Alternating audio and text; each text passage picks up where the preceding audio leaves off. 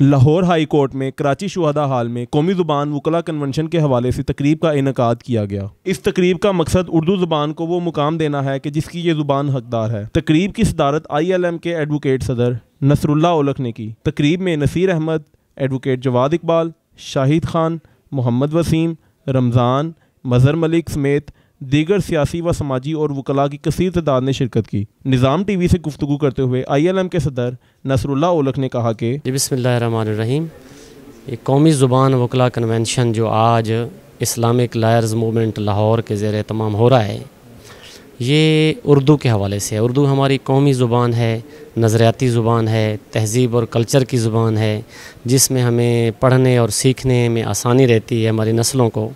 लेकिन बदकिस्मती से हमारे मुल्क में आज तक उर्दू का नफाज नहीं किया गया, दफ्तरी ज़ुबान नहीं बनाएगी।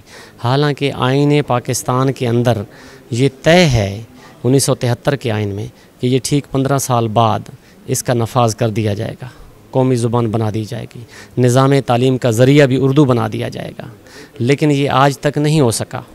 तो हमारा ये मुतालबा है, वो कला का आइन, कानून और बानी पाकिस्तान की इर्शादात की रोशनी में और अदालत उज़मा के जनाब justice mister justice Jawad S Khawaja साहब, जो चीफ़ जस्टिस ऑफ़ पाकिस्तान है, उनकी एक लैंडमार्क जजमेंट आई है, दो पी एल डी दो हज़ार पंद्रह बारह दस, उन्होंने ये इसमें वाज तौर पर कहा है। कि उर्दू को जो है वो कौम, कौमी ज़ुबान बनाया जाए, दफ्तरी ज़ुबान बनाया जाए और उसको नॉफिस किया जाए।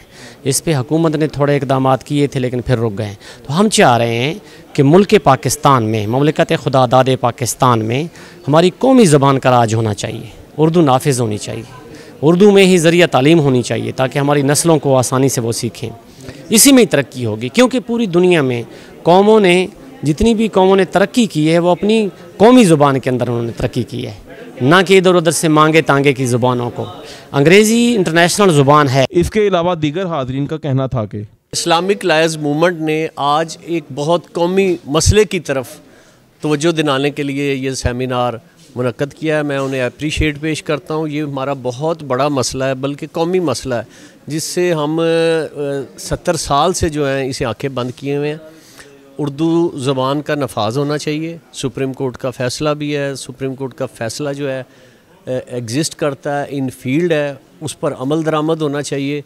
ज़िंदा कौमें वही होती हैं जो अपनी कौमी ज़ुबान को साथ ले कर चलती हैं। दुनिया में हर उस मुल्क ने तरक्की की है, जिसने अपनी कौमी ज़ुबान की तरवीज की है। उसको अपना दफ्तरी ज़ुबान, अपनी सरकारी ज़ुबान, अपनी तलीमी ज़ुबान बनाया है।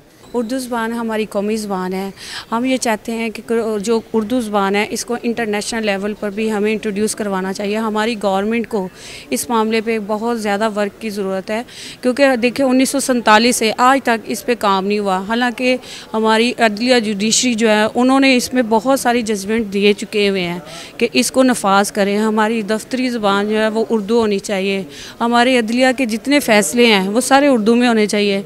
गुजारिश है कि उर्दू ज़बान, हमारी कौमी ज़बान है और हमें इस पर अमल दरामद करना चाहिए। बल्कि यही नहीं कि हमें बुरी लैंग्वेज बुरी ज़बान इस्तेमाल करनी चाहिए। जिस तरह के एक अंग्रेज़ों का मुल्क है, वो अपनी इंग्लिश ज़बान इस्तेमाल करते हैं। एज़ा कि चाइना वो चाइनीज़ आज का ये जो वकला कन्वेंशन है, ये कौमी ज़ुबान के हवाले से है और असल में इसका मकसद ये है कि कौमी ज़ुबान का नफाज जो है, इसके हवाले से मुतवजह किया जाए साहिबान इख्तियार को।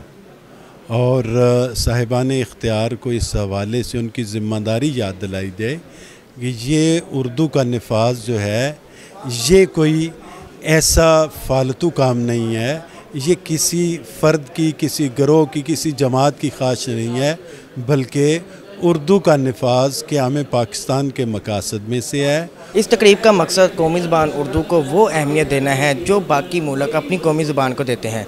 कैमरा मैन तयब अहमद के साथ Haider Ali Nizam T V Lahore. Younis mobile wholesale dealer all mobile brands available 25 years of trust. address 29 main hall road lahore. phone 042 372 44485 base gulberg lahore Phone 0423 575 6613 and 14. Commerce और technical books के बानी अजीम group of publication उन्नीस सौ अठासी ऐसी कायम शुदा पाकिस्तान और दुनिया के मुख्तलिफ़ ममालिक में अजीम ग्रुप की किताबें टेक्स्ट बुक के तौर पर पढ़ाई जाती हैं Urdu Bazaar Lahore phone number nine two four two three seven two three one double four eight